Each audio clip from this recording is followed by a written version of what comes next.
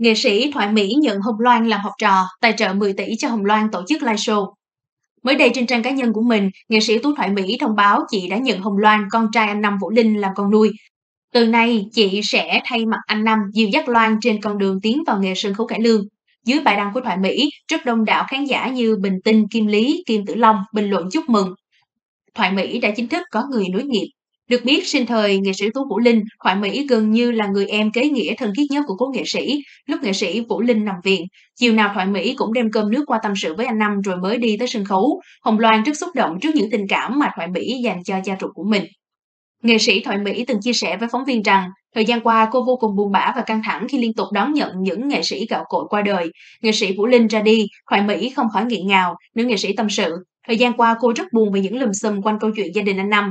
Tuy nhiên chuyện gì rồi cũng sẽ qua. Dưới bài đăng của Thoại Mỹ, Hồng Loan cũng bày tỏ tình cảm yêu thương dành cho sư phụ của mình. Trước giờ Loan vẫn xem cô Thoại Mỹ như cô ruột vì rất thân thiết với cha của Loan. Thoại Mỹ chia sẻ, trong cuộc sống hàng ngày, Thoại Mỹ và Vũ Linh cũng là anh em thân thiết. Nhắc về đồng nghiệp quá cố, nghệ sĩ Tú Thoại Mỹ xúc động khẳng định, anh luôn là người anh mà em yêu thương nhất, kính trọng nhất. Thoại Mỹ mãi mãi vẫn là cô em gái nhỏ của anh nhà anh Năm.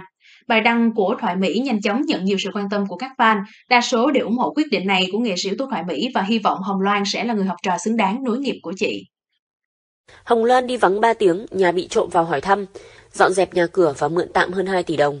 Trưa nay trên trang cá nhân, Hồng Loan thông báo nhà bị trộm ghé thăm lục tung hết đồ đạc và cậy kết sắt, lấy hơn 2 tỷ đồng. Hồng Loan cho biết số tiền này chị bán hàng thu về trong mấy ngày hôm nay, chưa kịp đi gửi ngân hàng, không ngờ bị kẻ gian đột nhập lấy mất. Cơ quan cảnh sát điều tra công an thành phố Hồ Chí Minh hiện đang phối hợp cùng công an quận Phú Nhuận điều tra truy xét vụ trộm lớn xảy ra trên địa bàn. Là nhà cố nghệ sĩ Vũ Linh do Hồng Loan đang đứng tên và tạm trú.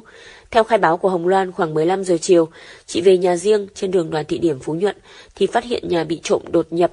Kiểm tra trong nhà Hồng Loan phát hiện bị mất số tiền lớn, đồ đạc bị lục tung và kết sắt đã bị phá khóa. Ngay sau khi nhận tin báo, công an có mặt tiến hành khám nghiệm hiện trường, lấy lời khai của người liên quan.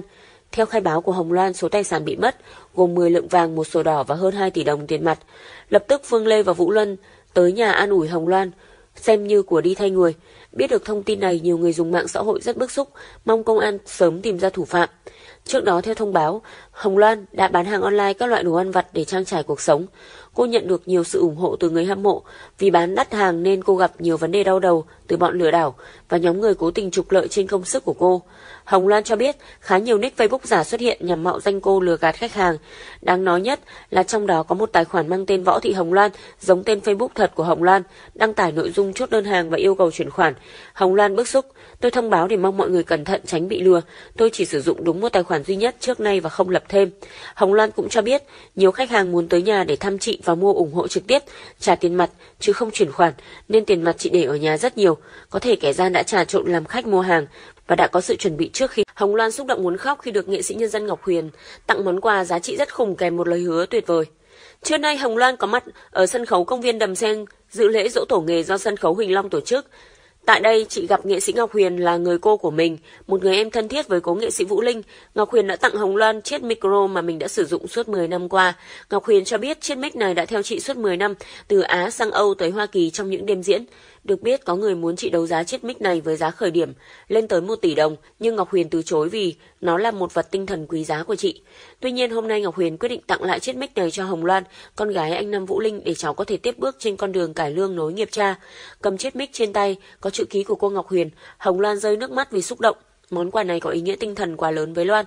Loan sẽ yêu quý và giữ gìn nó cẩn thận, cố gắng học hát theo nghề cải lương để không phụ lòng cô. Nói về việc nghệ sĩ Vũ Linh qua đời, Ngọc Huyền cho biết đó là một mất mát lớn trong giới cải lương. Anh chị em nghệ sĩ mất đi anh Nam Vũ Linh là một mất mát lớn trong nghệ thuật, trong giới cải lương chúng tôi. Tôi cũng vừa xem một người bạn nhận xét là cái trách nhiệm, cái bổn phận của cải lương này, chắc nó làm tròn sứ mệnh của nó rồi. Cho nên bây giờ nhìn lại trong cái đám lớn đã làm tròn hết rồi. Chỉ còn một cái đám nhỏ, hãy cố gắng ra làm thế nào để mà giữ lại cái sân khấu, nghệ thuật cải lương để các anh, các chị, các chú, các bác đã đi trước người ta cũng thấy được. Tấm lòng đã có cái thế hệ sau này tiếp nối, chứ mình còn nắm lớn là cô không còn thấy nữa rồi đó. Nghệ sĩ Ngọc Huyền cũng cho biết chị đã nghe qua giọng hát của Loan, rất có tiềm năng, đúng là có dòng máu cải lương trong người, nên khi giọng hát cất lên cũng khác với những người tay ngang. Ngọc Huyền sẵn sàng đào tạo thêm cho Loan, vì thời buổi này những người trẻ yêu nghề không còn nhiều, chị không muốn thấy môn nghệ thuật của đất nước bị mai một. Trước lời nhận xét của Ngọc Huyền, Hồng Loan ôm chặt nữ nghệ sĩ cảm ơn. Khoảnh khắc ấy khiến nhiều khán giả có mặt xúc động. Hồng Loan bất ngờ nhập viện, bác sĩ thông báo tình hình hiện tại. Trưa nay trên Facebook cá nhân, Hồng Loan, con gái của nghệ sĩ Vũ Linh, bất ngờ chia sẻ hình ảnh trên giường bệnh, thu hút sự chú ý của khán giả. Trong bài đăng, gia đình cho biết Hồng Loan nhập viện trong tình trạng kiệt sức phải cấp cứu ngay lúc đang ăn cơm trưa. Hiện tại anh hai Vũ Luân và chị ba Bình Tinh thay phiên chăm sóc Hồng Loan. Điều này cho thấy rằng mối quan hệ của các anh em trong gia đình cố nghệ sĩ Vũ Linh rất tốt đẹp. Bình Tinh cho biết từ đám tang cha đến nay, Loan sụt 5-6 kg vì ăn uống ít, không đêm nào ngủ ngon. Loan kiệt sức, tinh thần cũng đi xuống vì phải lo nghĩ nhiều. Chị cũng cho biết Loan cũng thất nghiệp suốt 3 tháng qua. Trước đây Loan buôn bán nhỏ nên kinh tế không dư giả. Tôi không dám kể với ai vì sợ mọi người hiểu lầm mình than thở. Giờ Loan vẫn đang mượn nợ, lo trang trải phí sinh hoạt gia đình và lo cho các con. May mắn xung quanh có một số anh chị khán giả thân tình giúp đỡ động viên nên đã đỡ phần nào cho Loan. Gần đây Loan đã quen với việc bán hàng online nên cuộc sống đỡ vất vả hơn, nhưng nhìn chung áp lực công việc quá lớn khiến Hồng Loan bị kiệt sức. Có một cô là fan của cha còn kho gà nấu canh mang sang vì sợ Loan không có ăn, nhưng Loan ngại nên từ chối. Cô bảo coi như cô thay cha lo cho con. Anh Vũ Luân và chị Bình Tinh cũng hỗ trợ thỉnh bàn thờ làm nơi thờ phụng cha đàng hoàng để giảm bớt áp lực cho Loan. Trước đó trong ngày lễ Vu Lan, nghệ sĩ Vũ Luân, con nuôi của nghệ sĩ Vũ Linh đã có chia sẻ đầy xúc động trên trang cá nhân. Nam nghệ sĩ hạnh phúc thông báo đã tổ chức lễ Vu Lan báo hiếu theo đúng tâm nguyện của ba nuôi. Nam nghệ sĩ còn bày tỏ sự yêu thương dành cho Hồng Loan, con gái của nghệ sĩ Vũ Linh và nhấn mạnh sẽ bảo vệ cô trước những sóng gió. Vũ Luân viết, con sẽ bảo vệ gia đình Hồng Loan. Hồng Loan sống đẹp trả lại cho chị Ni 400 triệu, chị Ni cho Loan lúc khó khăn và mua xe SH tặng Bùm Bùm. Mới đây mạng xã hội lan truyền đoạn clip Hồng Loan cùng chồng của Bùm Bùm đi mua xe gắn máy mới. Đoạn clip Hồng Loan chia sẻ chủ nhân cửa hàng xe máy mới nói chốt cho khách đặc biệt, Hồng Loan cùng chồng của Bùm Bùm chọn chiếc xe máy SH 125cc màu bạc. Chủ cửa hàng còn chia sẻ thêm, Hồng Loan mua xe cho vợ chồng Bùm Bùm. Ngày hôm qua chị Ni cũng chia sẻ, Hồng Loan chuyển trả lại cho chị Ni 400 triệu đồng, số tiền chị Ni đã cho Loan lúc khó khăn. Trước đó chị Ni từng cho biết đã cho Hồng Loan hơn 1 tỷ, đó là chị thương Loan nên tình nguyện giúp, chứ không đòi Loan trả lại. Nhưng hiện giờ Hồng Loan buôn bán được nên Hồng Loan trả dần lại cho chị Ni.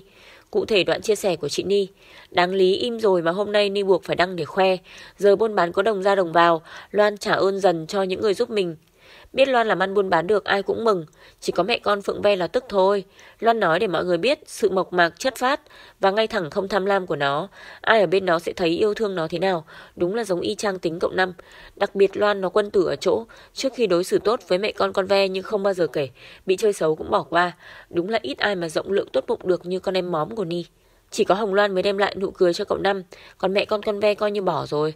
Thời điểm này nhang khói hoa thơm quả ngọt đều có đủ trên bàn thờ của cậu, khác với những ồn ào và những trò mèo trên bàn thờ của cậu. Giờ đây cậu đã có thể yên nghỉ rồi cậu Năm ơi. Cô con gái ấy giống ba đến từng tướng đi, đến từng hành động, giống cả cách ăn uống, giống cả sự chịu thương chịu khó, không vì giàu có mà khinh người. Nhớ có một lần có người chi kỷ bên cạnh ba của Loan kể lại, có lần Loan kể cậu Năm rất ghét ăn đu đủ và xoài chín, vậy mà mẹ con con Phượng nó cúng cậu, nó đem nguyên ba trái đu đủ. Loại người tiểu nhân hết chỗ nói.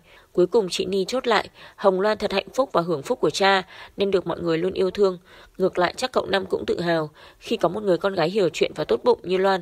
Mong Loan sẽ luôn may mắn trong công việc buôn bán, để sau này có điều kiện giúp đỡ mọi người nhiều hơn.